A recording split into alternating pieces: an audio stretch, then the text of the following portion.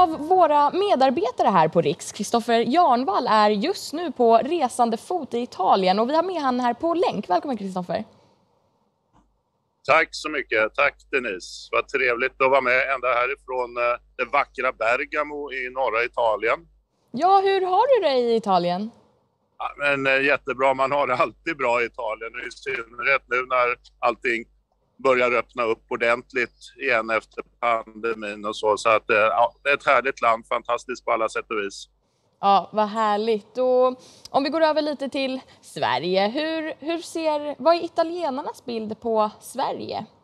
Ja, det, jag, jag, saknar ju Sverige när jag är här nere såklart, så att jag har ju varit tvungen att skanna av lite av uh, de italienska tidningarna och uh, man kan väl säga att på senare tid så, så har det varit två frågor som, som ja, dominerat, ska man väl inte säga. Alltså, det är de frågor som har kommit upp egentligen. Och det är dels regeringskrisen i somras när Löfven fick avgå. Eh, den täckte man in ganska bra både från höger och vänstermedia. Mm. Eh, dels är det förstås den ökande kriminaliteten i Sverige som man förfasas över och man förvånas över här i Italien. Ja, för vad är... Så att, eh, eh hur, är, hur ser Sverigebilden ut i Italien? Är Sverige representerat som ett fint, tryggt land? Eller ja, vad är det? Ja, jo, men, men det är den Sverigebilden. Det är mycket Astrid Lindgren och Pippi Långstrump ordning och reda. Eh, men den börjar ju naggas i kanten och dels hade vi då regeringskrisen kan vi säga som man noterar att Sverigedemokraterna hade tagit en eh, Eh, därför att eh, avsätta Löfven som inte, eh, regeringen Löfven som, som inte hade förtroende då av riksdagen och, och, och även kommunisterna, då Vänsterpartiet, men här nere kallas de faktiskt kommunisterna. De, de då lyftes fram också som, som drivande i den där frågan. Sen, sen är det ju då brottsligheten, kriminaliteten, när man förvånas över vad som händer med Sverige. Men samtidigt så är det ju så att man har väl inte egentligen så många korrespondenter på plats i Sverige så att man, man plockar upp mycket av det som skrivs i, i media och, och den här sprängningen i Göteborg där över 20 människor fick föras till sjukhus, varav några svårt skadade. Den har funnits med i, i så gott som alla tidningar här nere som jag har tittat på, de stora. Okej. Eh, skulle du säga att bilden har, jag vet att du gick in på det lite tidigare, men skulle du säga att bilden, ja. Sverigebilden har försämrats?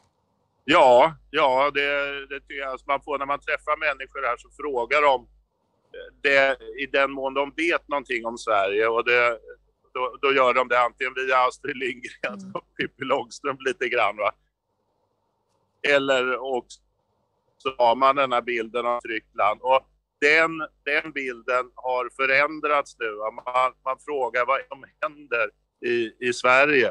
Och ehm, ja, då får man försöka efter bästa förmåga berätta vad det är som händer i Sverige. Eh, och, och, så att, ehm, som jag sa just nu, den här sprängningen i Göteborg häromdagen, den har, den har funnits med i alla media här nere. Mm. Så att det, det, är, det är ingen rolig bild, tyvärr. Nej, det är ju väldigt stora kontraster på Astrid Lindgren och sprängningar så man förstår ja, att bilden jo. har förändrats.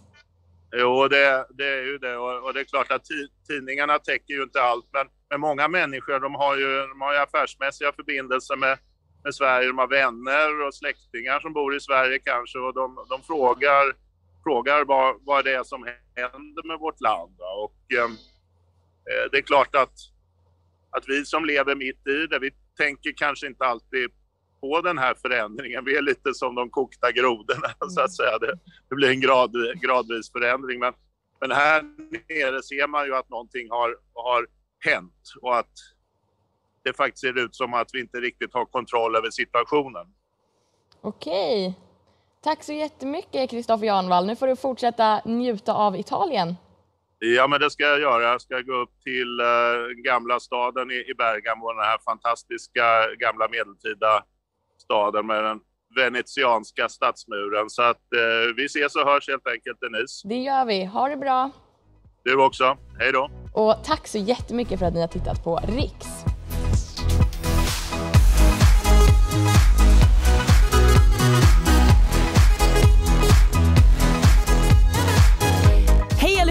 Och tack så jättemycket för att ni tittar på Riks. Glöm inte att prenumerera på vår kanal genom att trycka på knappen här nedanför.